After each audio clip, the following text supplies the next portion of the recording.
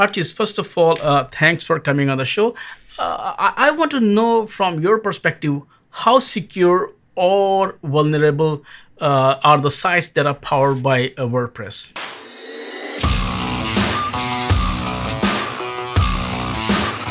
So surprisingly, they're very, very secure, right? They're they're they're doing the best that they can.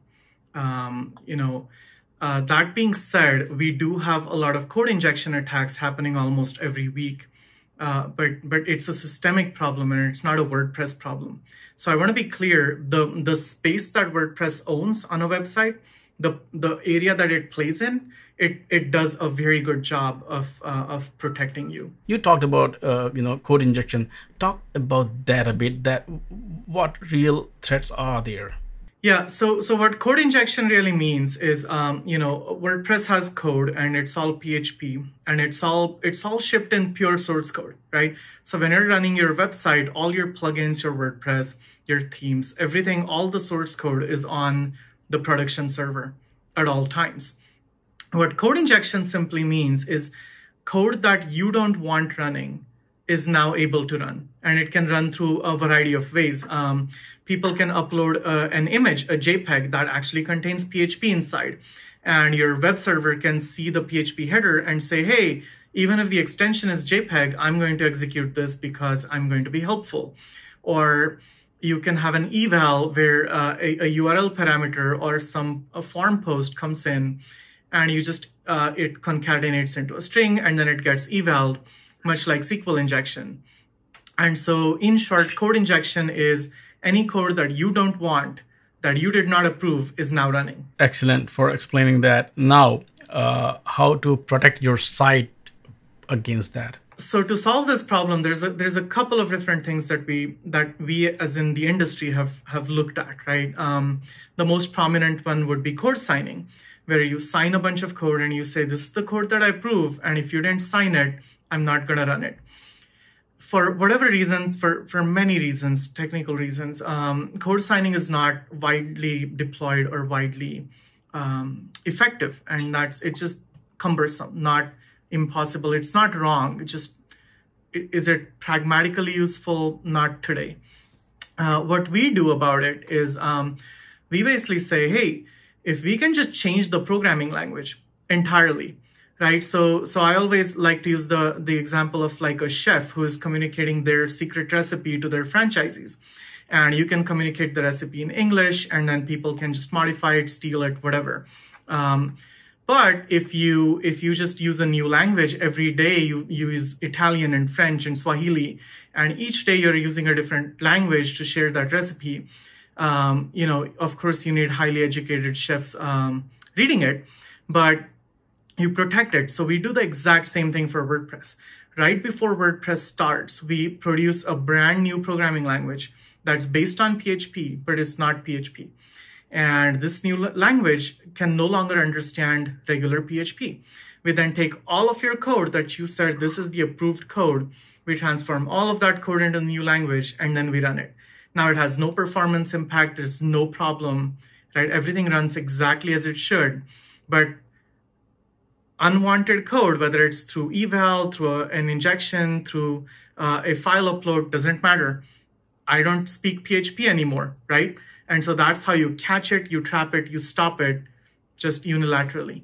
What is polyscripting for WordPress and how does it work? so polyscripting is is is an overall technology that we developed and uh, and we're patenting as we speak. Uh, and what it really does is it changes programming languages uh, dynamically. So all interpreted languages along with all code that speaks those languages. And the holy grail for us is SQL, obviously, but we're we're a couple of years away from getting there. So as a technology, we we do polyscripting for uh, you know AWS Lambdas and Node.js, and we're even bringing it to the browser as we speak. Uh, and this is intended to prevent unwanted code from executing by changing the language. For WordPress specifically, it, it's it's a it's a package solution, and so how we how it works is um, at the base layer, we provide uh, it's very simple, really. It's, it's, you know, today we ship it as a Docker container. We can it in the VM. uh, we have some core infrastructure that can flip or you know change PHP. Uh, and then what happens is you just use WordPress as you do, and then when you're ready, when you're when you're ready to lock it down, you press a little button on the WordPress UI and you say polyscript this, and you press this button, and everything behind the scenes gets transformed, and now regular PHP is no longer valid. And if you want to make changes, updates, you just say unpolyscript this, and then it just goes backwards 100%. Or you can re-polyscript and you can say, hey, someone just stole one of my files. They probably know this new language over time. Just go ahead and do it again. And that's how it really works. And I do want to call out that your original PHP code is 100% untouched. Like there is no change to that. So like there is no loss of code. There's not, so if polyscripting fails, if we screw up, nothing's lost. Who's your target audience here? Uh, are, uh, are, these independent bloggers who run WordPress or are these companies? Talk about that. Our ideal target audience is um, is uh, self-hosted WordPress people, right? Running very large websites that they self-host because they have to be large scale, highly available. I don't know if you knew this, but about 28% of all internet transactions happen through WooCommerce, the WordPress e-commerce plugin right? Literally a quarter of the internet's online banking, uh, not banking, but financial uh, transactions happen on WordPress. It's a big deal.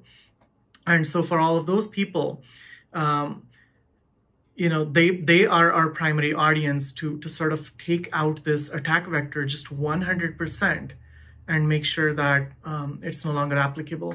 Our other audience is also uh, uh, professional services providers who who get asked constantly by their customers who say, "Hey, you know, I'm I'm gonna get hacked. What can you do about this?" Like, and and you know, customers don't want to hear tolerances, right? Like, customers don't want to hear, you know, like 98% of the times or with like you know uh, with one sigma accuracy whatever customers just want like a, a, a paintbrush and it's like you know paint over this and make it go away and so that's what we bring to those um, to those professional service providers. Okay so does it also include those web hosting provider providers like linode is one of them. They also offer self-hosting versus they also offer wordpress as one of the do is it for them also? Yes yes. It, it's absolutely for 100% of the wordpress audience um, just just to be clear.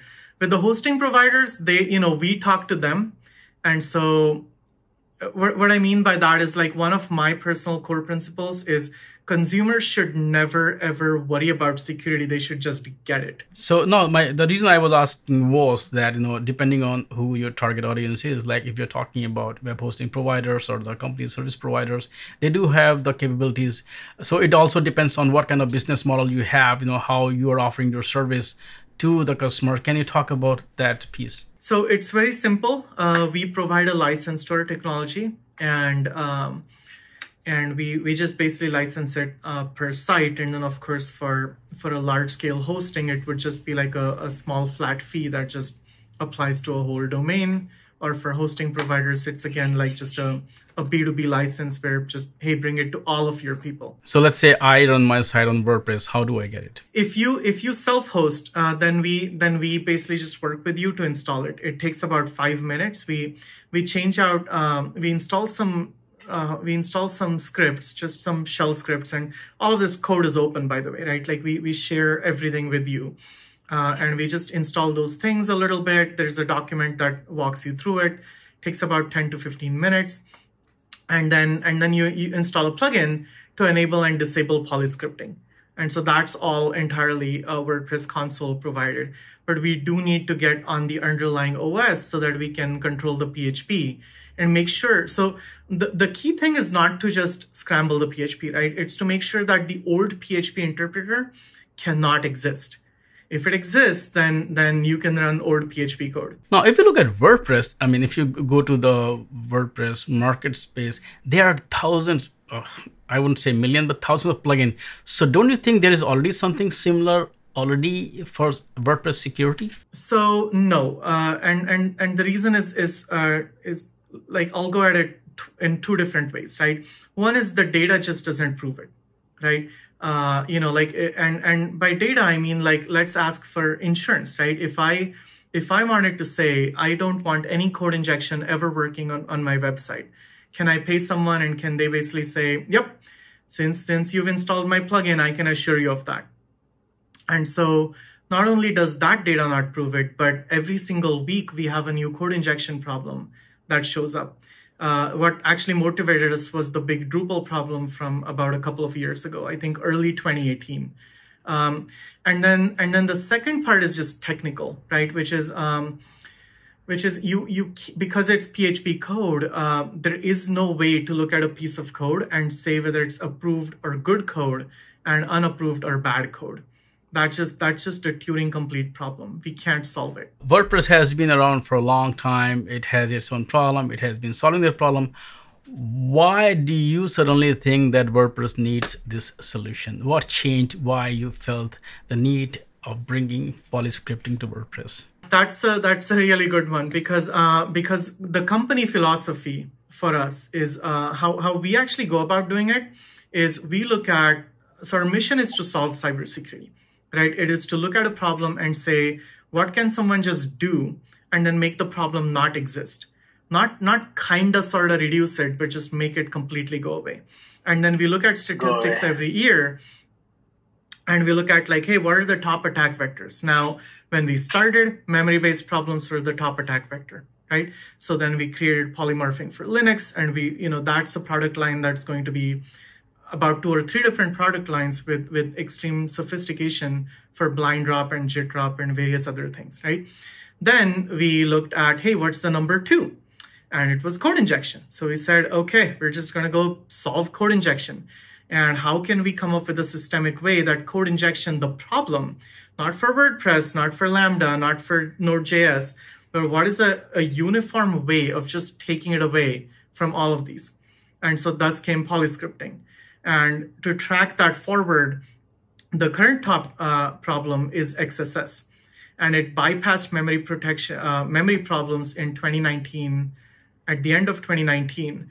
And so as you might imagine, all of our resources right now are going on to um, go tackle that. Since you are trying to make all these problems go away uh, in terms of cybersecurity, you have tackled Linux, you have tackled WordPress, two big players in the uh, in the you know in, in the web interface.